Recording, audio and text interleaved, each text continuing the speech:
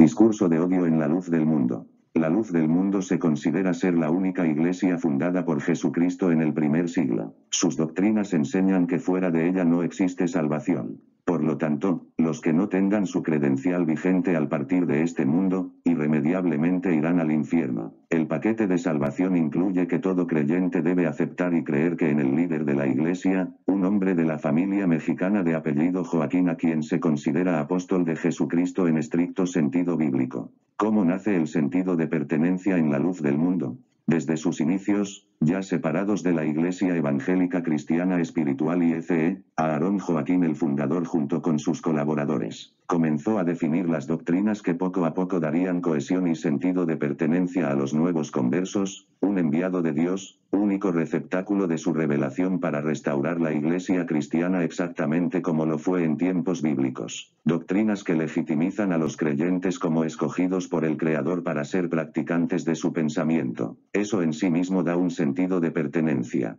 Los fieles ahora son una nación especial, un pueblo con leyes únicas, escogidos de entre todos los pueblos del mundo para ser un linaje escogido como lo fue Israel según la Biblia. Sentido de pertenencia fundamentado en la discriminación y el discurso de odio.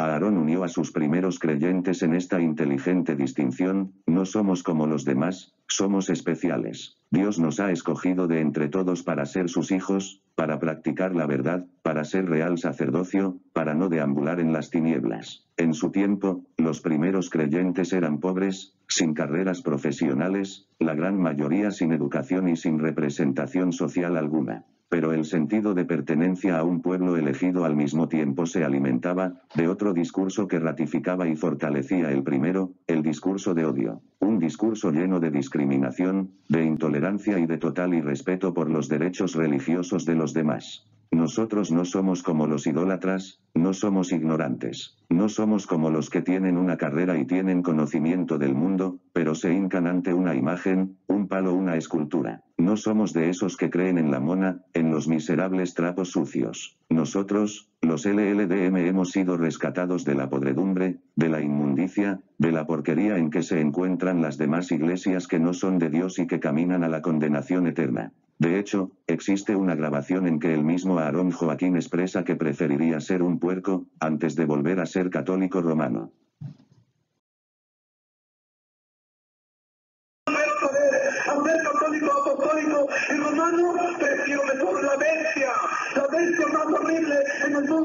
No volver a ser católico, apostólico romano, ya que Dios con todo fuerte y brazo extendido le ha sacado de ese error, ahora quiero glorificar con toda libertad el nombre de Cristo, porque soy cristiano por la gracia, por la gracia, por el dolor, por la misericordia de Cristo Jesús, no por mis buenas obras. A él se le alabanza, el que ahora y para siempre. ¿Me entienden? De manera que debería ser la más horrible. Si hay hiena, si hay tigre, hay león, si hay perro, hay pan, debería ser un puerco mucho mejor que el ser humano, otra vez. ¿Sabes por qué? Porque el puerco no piensa. La bestia no piensa. Hacer la bestia no tiene ninguna responsabilidad y nosotros en el mundo, teniendo el alma de Dios y adorando a los demonios, que es prohibido por Dios, es un pecado grande. Que quitándolo. Cada día mi Dios piensa que Dios no reprendiera, pero es un pecado grande, horrible. Por esta causa, el pueblo de Israel quedó postrado en el desierto por la desobediencia a Dios.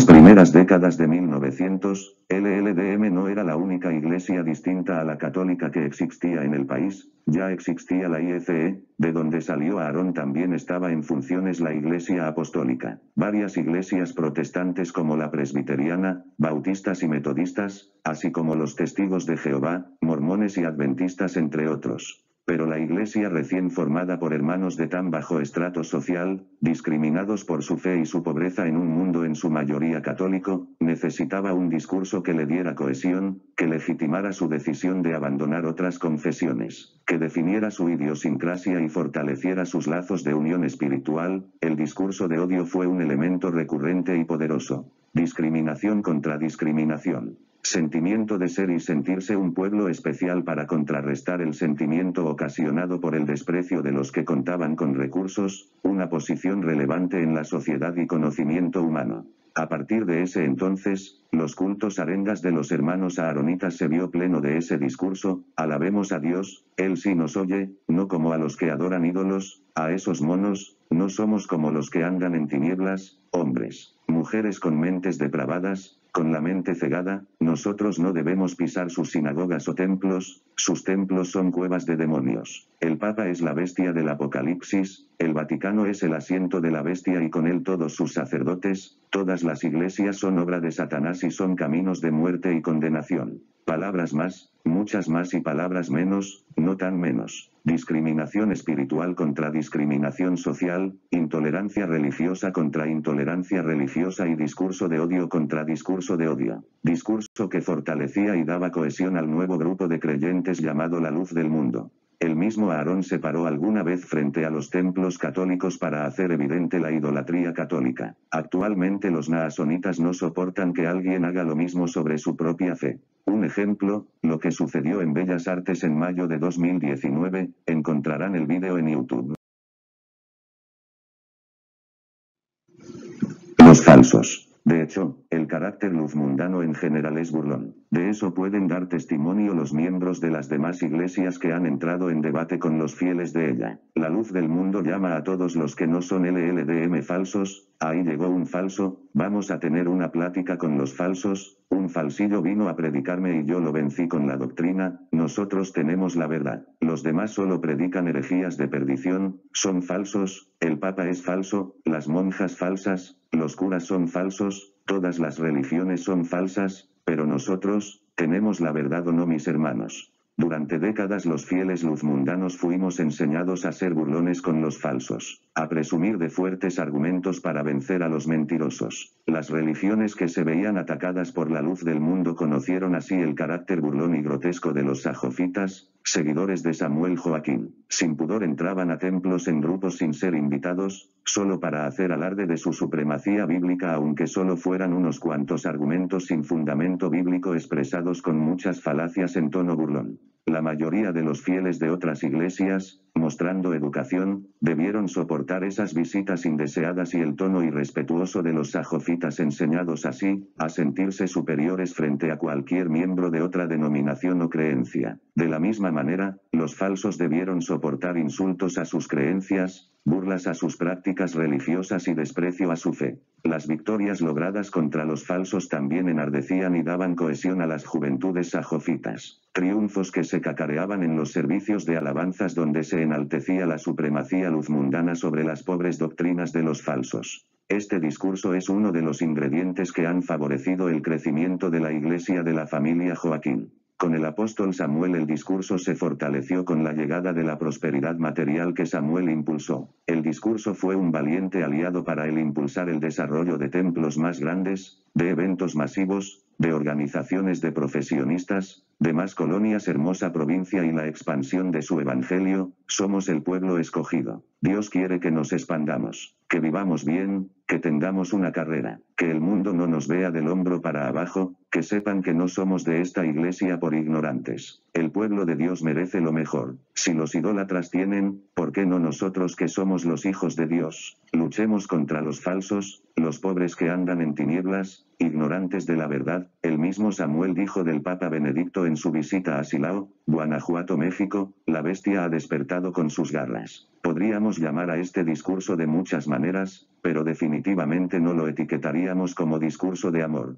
La luz del mundo ha fortalecido sus filas y ha enajenado las mentes de sus fieles con este discurso durante décadas tres veces al día sumado por supuesto a la lealtad al apóstol de Jesucristo. El que no crea en él, es una doctrina oficial, está muerto en vida, no tiene posibilidad de alcanzar la salvación y se dirige a la muerte eterna. De hecho, uno de los ministros de Samuel el finado Lee Mineman dijo durante las exequias de su líder que los que no creen en él, apóstol, deberían ser rayados, eliminados, de sobre la faz de la tierra, y dijo también son dignos de muerte. Lee Mineman, diciembre de 2014. Discurso de odio contra los apóstatas. Siempre sabrás qué pasará cuando decidas ser miembro de la luz del mundo, pero no tendrás idea alguna de lo que pasará si decides confesar después que no crees en Naasón como apóstol y en su iglesia como verdadera. Nosotros sí. En esta iglesia no solamente dices ya no creo y te vas. En la iglesia tú puedes cometer cualquier pecado, hasta homicidio, pero si permanece en ti la obra perfecta de la elección, creer en Naasón puedes alcanzar perdón y salvación. Tu familia te llevaría de comer y te visitaría en la cárcel que te tocara, hasta te escondería como a Azalea Rangel si fuese necesaria. Ah,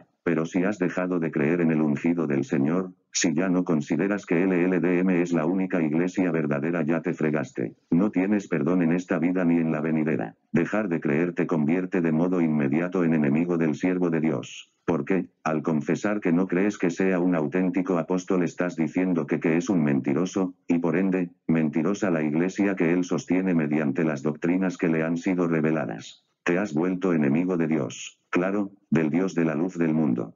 Ahora eres una fruta podrida. Eres un cáncer que hay que erradicar para que no contamines a los miembros sanos del cuerpo. Eres un virus peor que el ébola. Todo hermano que sepa de tu apostasía tiene obligación de delatarte con tu pastor. Este intentará hacerte entrar en razón con un amor que está lejos de sentir, y tan pronto confirme que has perdido la fe o nunca la tuviste, comenzará el linchamiento moral, religioso, como gustes llamarle frente a toda la iglesia. A este discurso de odio público seguirán las acciones de odio para contigo y tu familia si es que ella está de acuerdo contigo. Comienza en el templo, con predicaciones sobre la apostasía. En Internet tenemos varios ejemplos de los discursos de odio contra los que niegan la fe en los apóstoles de la familia Joaquín. Donde consideren que haya el brote de un apóstata, los ministros llenarán sus predicaciones de frases llenas de odio como las siguientes. A los apóstatas hay que entregarlos a Satanás. La vida del impío es perversa. El apóstata es mentiroso, calumniador, malagradecido. Tienen envidia del varón de Dios. Aquel que come con el apóstata participa de sus malas obras, hay que apartarse de ellos. No te sientes con el escarnecedor, no convivas con la serpiente. Naasón a su hijo Adoraim le dijo el día que cumplió 14 años, si algún día piensas en superarte en el mundo, ese día tu padre morirá para ti, y tu madre te cerrará las puertas. El pastor naasonista Carlos Montemayor dirigió estas palabras llenas de auténtico odio a los que, según su criterio, se expresan de Naasón, maldito tú y toda tu casa por hablar contra un siervo de Dios. Ojalá Dios los raera, a los apóstatas, de la faz de la tierra porque son hombres dignos de muerte. Pastor Lee Mineman. Impios, los apóstatas como veneno de serpiente, hasta escalofrío da cuando vemos que se acerca una víbora, y si podemos le pegamos en la cabeza. Pero es mi hijo, mi padre, mi madre, pues el Señor los reprenda. Él, apóstata, nació para ser hijo de perdición. Ya están desechados de la mano de Dios. Enemigo de la elección de Dios, si es enemigo de Dios, no puede ser pastor Elías Durán. Debo ser enemigo de un apóstata, debo pelear a quien atente contra mi fe. Aborrezcolos, a los apóstatas, con perfecto odio Benjamin Romualdo Aguilar. El amor no está condicionado a los que concuerdan con nosotros. Así es exactamente del discurso de odio contra los miembros que niegan la fe. En público te señalan. El pastor le indica a tu familia que deje de dirigirte la palabra, te negarán los servicios espirituales, presentación de enfermos, te quitarán los privilegios, oraciones, obra, etc. Y todos tus amigos tendrán la indicación del Espíritu de Dios de alejarse de ti. Recuerda, eres como la gangrena. Así que si dejas de creer o nunca creíste, tienes tres posibles escenarios para seguir adelante. 1. Te alejas sin decir nada. Solamente te alejas y dejas de asistir. 2. Expresas con valor que ya no crees. Sufres el linchamiento social, mueres para la iglesia. Tratas de convencer a tu familia, alguno de ellos te delata. Pierdes a tu familia, a tu cónyuge o a tus hijos. Inminente divorcio o separación, ya que para los naasonistas la lealtad a Naasón está por encima de absolutamente todo. Por donde quiera que te vean los luzmundanos te voltearán la cara si te va bien, harán gestos desagradables, si llegas a expresar lo que crees es posible que te arriesgues a una agresión física. La parte de tu familia que se queda, también sufrirá el rechazo de parte de la iglesia por la pura sospecha de que sean apóstatas como tú. 3. Continúas para no sufrir el linchamiento social, finges creer, asistes poco y logras llevar una vida tranquila aunque interiormente sufras los cultos, ofrendes, y asistas de blanco a los cultos mitineros para no perder lo que más amas, a tu familia. Y nos hemos quedado cortos. Si se te ocurre publicar las razones de por qué ya no crees en LLDM y su apóstol en alguna página de internet o red social, máxime si son delitos o faltas graves a los derechos humanos te descalificarán, publicarán todos tus defectos, errores y pecados que te conozcan. Los pastores y miembros de tu círculo de amistades, inclusive te inventarán lo que puedan para lograr descalificar tu testimonio, se fue por envidioso, por impío, porque no quiso sujetarse, por ladrón, por homosexual, se fue por lesbiana, porque quiso ser honrado como un ungido, y por varios etcéteras. La finalidad es desacreditarte para que no seas un ejemplo a seguir.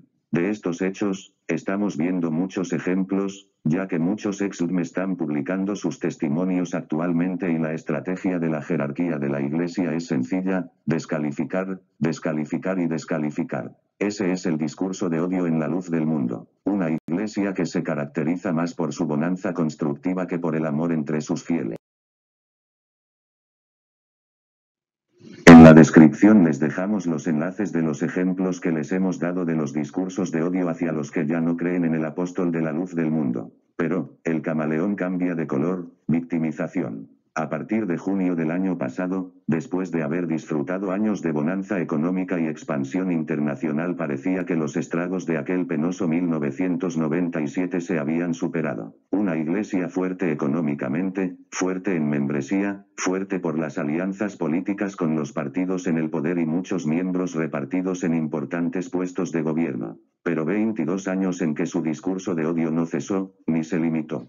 Tanto así que existen muchas pruebas de cómo educan a los miembros a odiar a los que no creen como ellos basados en interpretaciones bíblicas del Antiguo Testamento. Tanta pujanza e impunidad social les dio la confianza para continuar con sus estrategias anticristianas violando aún derechos humanos básicos. Jamás imaginaron que tendrían que enfrentar nuevamente las mismas situaciones de 1997 pero a mayor escala en junio de 2019. Ante la avalancha de información negativa que los medios fueron publicando sobre el arresto de Naasón, como estrategia los abogados apostólicos sugirieron dirigir la atención de los medios a la feligresía usemos de escudo a la iglesia. Digamos que el fiscal Becerra desató una ola de violencia contra los fieles al llamarlos ignorantes, hagamos que la gente se sensibilice ante el ataque de los medios que provoca intolerancia hacia nosotros. Documentemos y denunciemos ante las organizaciones de derechos humanos la ola de discriminación y de odio que generó el fiscal y los medios de comunicación, quizás se detenga esta guerra contra nosotros, victimicémonos. Sara Pozos y el discurso de odio. La vocera no tan oficial y no tan informada de LLDM comunicó su postura, y la de su iglesia, en Milenio Jalisco y nos hizo una reseña bastante acertada sobre lo que es el discurso de odio, julio 13, 2019. Lo que no nos dice, es cómo este mismo discurso ha existido desde sus inicios en la iglesia donde nació. A partir de entonces, surge una desesperada carrera por detener la información masiva que los medios comienzan a descubrir a la sociedad sobre diversas situaciones de la Iglesia, los crímenes imputados a Naasón y también a sus ministros, el tráfico de indocumentados, los negocios de la familia Joaquín, las cuantiosas ofrendas solicitadas a los hermanos, los incondicionales, los guardaespaldas apostólicos armados y los testimonios de Xochil Martín, la cereza del pastel. ¿Cómo detener todo esto? Utilicemos a la iglesia de escudo. De hecho, en una de las primeras audiencias realizada en Los Ángeles, los líderes de la iglesia llevaron a algunas personalidades simpatizantes de la iglesia, entre ellas a José María Muría, cronista de Guadalajara, para hablar a favor de esta, de sus logros, de su buen papel en la sociedad, pero el juez no quiso escucharlos, por una buena razón, la inculpada no era la iglesia, sino Naasón. Entonces, Fracasados en su intento de presentar testigos que hablaran a favor de LLDM, el vocero Silem García y los obispos comenzaron una campaña para crear un ambiente de intolerancia, de odio que no existía, hacia la Iglesia. De la noche a la mañana, y por una temporada lograron reunir más de mil denuncias, según sus siempre alegres cifras, ante Conapred donde se probaba, según ellos, que las afirmaciones de Xavier Becerra habían desatado un clima de intolerancia hacia los pobrecitos hermanos de la luz del así como inició la temporada de denuncias de crímenes de odio, también desapareció. De victimaria a víctima. Mi Mientras tanto, la más cultivada en letras de los voceros o auxiliares en el Ministerio de Relaciones Públicas de LLDM, Sara Pozos, seguía desde su trinchera hablando contra el discurso de odio, contra la discriminación, contra la intolerancia religiosa y acuñando otra frasecita ridícula, respeto absoluto. Ridícula viniendo de quien durante toda su vida, como cualquier luz mundano encumbrado jamás ha sabido lo que es respeto a la fe de los que no creen como ella. Ahora sí, la luz del mundo es la víctima. Ahora es una minoría, es una iglesia que ha predicado el amor, la paz, la tolerancia hacia todos los que no creen como ella, una asociación religiosa que respeta las leyes y las obedece, una pobre desvalida que está sufriendo el ataque inmisericorde de fanáticos del Opus Dei, de fiscales católicos que no respetan, de medios de comunicación amarillistas, sin ética, inmorales pseudoperiodistas y de religiosos que quieren impedir su exponencial crecimiento. Las iglesias evangélicas y protestantes, no ven con odio a LLDM, más bien con pena, compasión y quizá, con lástima, porque sufre las consecuencias de poner la fe en un hombre. Pero no es la Iglesia quien decide las estrategias, aunque Silem García haga parecerla como una institución democrática y no teocrática totalitaria. Son los líderes que gobiernan en lugar de Naasón quienes piden a los fieles que se victimicen, y después que ya no se victimicen, que se quejen de intolerancia y luego que ya no se quejen de intolerancia, o que publiquen en redes sociales sus títulos universitarios y luego que ya no los publiquen. Lamentablemente la Iglesia está enseñada a obedecer sin razonar, por el resultado de una confianza y lealtad absoluta al apóstol que consideran rey. En LLDM se obedece, y nada se cuestiona, como lo dijo Samuel Joaquín en una de sus pseudocartas apostólicas. Este es el juego de los líderes actuales de LLDM. El discurso de odio ha sido su doctrina desde siempre, y ahora se presentan como víctimas pero del odio del vecino. Durante décadas se han alegrado de que los medios publiquen y exhiban los defectos y errores de iglesias como la católica y sus sacerdotes y ahora exigen que las demandas solo se ventilen en tribunales. En sus casi 100 años de existencia no han mostrado siquiera respeto a las demás confesiones, y ahora exigen respeto absoluto. El odio que LLDM recibe, solo es el que sembró en todos de los que humilló, abusó y envileció. Nada más. No existe discurso de odio hacia LLDM más que aquel que está cosechando de los fieles a los que maltrató, humilló y abusó durante toda su existencia. La población de ajenos a esta fe no genera maltratos hacia los fieles, todo lo contrario, para el mundo evangélico, protestante y católico, LLDM se ha vuelto un tema de compasión y a veces de lástima. Las congregaciones cristianas de los países donde más miembros tiene LLDM reconocen que por la misma situación que pasa, nadie debe poner su fe, su confianza y su lealtad en ningún ser imperfecto sobre la tierra. Y lo han aprendido de ese mismo libro que los naasonistas llama letra muerta. La intolerancia y discriminación de la que se proclama objeto LLDM solo existe en la imaginación de los voceros, dentro de sus templos contra sus propios miembros y contra las iglesias que no creen como ellos. Tampoco existe persecución, ni intolerancia hacia la Iglesia, no más de la que existe contra otras denominaciones cristianas en Latinoamérica. El odio, la intolerancia y la discriminación de la que se proclama objeto la luz del mundo, solo existe en la imaginación falaz de los voceros, de los abogados apostólicos y también dentro de sus templos y sus colonias. Existe para usarse en contra de los que no son de su fe y contra sus propios miembros que han decidido no creer más en ese extraño ente espíritu doctrina llamada la elección.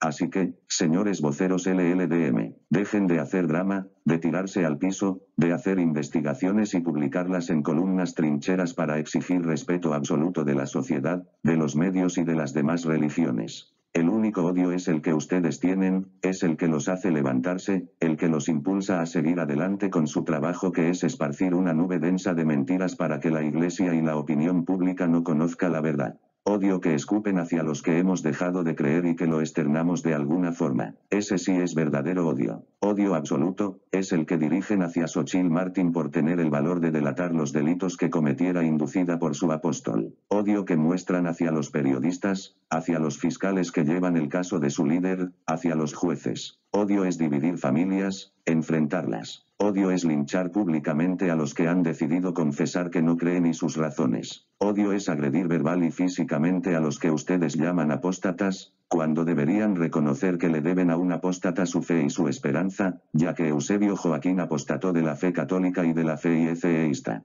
Dejen de proferir maldiciones contra los que hacen uso de su libertad de expresión y sean cabales, no finjan lo que no son, dejen de ser hipócritas aunque eso sea casi imposible por no ser su naturaleza. Los que hemos salido de entre sus filas, podemos seguir viviendo con el odio que ustedes nos dedican, porque al salirnos, pudimos aprender a amar de verdad a nuestros semejantes y, aunque fuera cierto que nos odian más de 5 millones, siempre será mucho más grande el amor que Dios nos ha mostrado al sacarnos de esa asociación religiosa que puede ser todo, menos Iglesia de Jesucristo. Y recuerden, que la característica más importante de la Iglesia de Jesucristo, es el amor entre sus integrantes, y ustedes, carecen de ella. Así ha sido, así es, y siempre así será.